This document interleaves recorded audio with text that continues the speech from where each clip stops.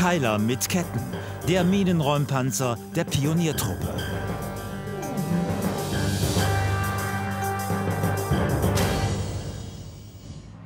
Es ist ein Ungetüm mit fast 54 Tonnen Gefechtsgewicht und rund 1100 PS Motorleistung, der Minenräumpanzer Keiler. Die Pioniertruppe setzt diesen Keiler auf dem Truppenübungsplatz im niedersächsischen Bergen in der Ausbildung ein. Der Keiler arbeitet mit 24 rotierenden Ketten, die auf hydraulisch betriebenen Wellen laufen. Hauptgefreiter Bittner macht zurzeit seinen Betriebsberechtigungsschein. Oberfeldwebel Kluth ist sein Kommandant und Ausbilder. Truppführer Hauptfeldwebel Droppner leitet die Zweimannbesatzung per Funk und gibt die Befehle zur Herstellung der Räumbereitschaft sowie für den Räumeinsatz.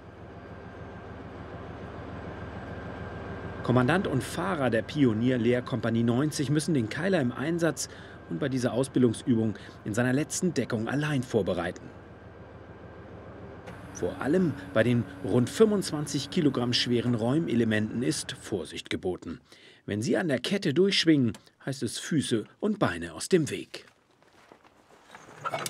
Das sind die Räumelemente. Hier vorne nennt man auch Elefantenfüße, sehen halt ein bisschen nach einem Elefantenfuß aus. Äh, der Räumwellenrahmen dreht sich so weg, dass es nach vorne weggeschleudert wird, beziehungsweise dann auch die Minen weggeschleudert, beziehungsweise detonieren. Hm, sieht man auch in der Abnutzung ganz gut. Hier zum Beispiel die Abnutzung, dass er dann halt hier in den Boden einschlägt. Die Bodenfräse mit den rotierenden Räumelementen schlägt eine fast 5 Meter breite Gasse in den Boden.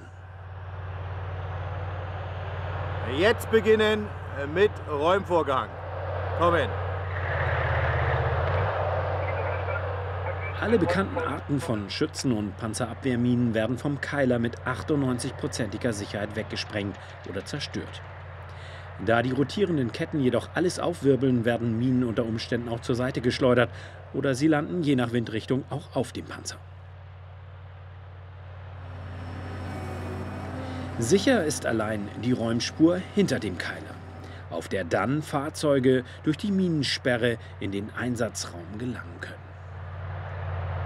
Wir können mit dem äh, Keiler äh, verdeckte und äh, offen verlegte Minen räumen äh, bis zu einer maximalen Tiefe von 25 cm. Das ist möglich. Äh, wir haben unter anderem aber auch ein Oberflächenräumen, das heißt, nennt sich dann 0 bis 5 cm äh, mit einer Räumgeschwindigkeit. Die Welle dreht sich hier mit einer Räumgeschwindigkeit von maximal 400 Umdrehungen die Minute. Das ist schon sehr viel und das kann halt wie gesagt kein anderes Fahrzeug. Es gibt kein anderes Fahrzeug in der Bundeswehr, was das hier dementsprechend diese Leistung hier entwickelt. Die 24 Exemplare der Bundeswehr sind auf Basis des amerikanischen Panzers M48 gefertigt, weil dieser über eine stabile Gusswanne ohne anfällige Schweißnähte verfügt. Die Aufbauten sind Spezialanfertigungen deutscher Hersteller. Platzangst sollten die Soldaten nicht haben, denn das Räumen findet quasi im Blindflug statt. Sie werden von außen per Funk durch die Räumspur geleitet. Die Geräusche und das Krachen der Minen ist besonders für Neulinge eine Herausforderung. Wenn die Luke zu ist, die Enge, da sind sie ja schon dran gewöhnt. Ja, wenn die Räumwelle das erste Mal läuft, ist für die ein Highlight. Das, das sieht man dann ja auch noch. Nachher, äh, wenn wir im Räumbetrieb sind, äh, als Fahrerkommandant äh, sieht man eher wenig bis gar nichts. Man hat eigentlich nur das Gefühl, dass das Fahrzeug sich bewegt, arbeitet. Nachher, wenn der Räumbetrieb beendet ist, ist man eigentlich auch froh, dass man wieder aus dem Fahrzeug rauskommt.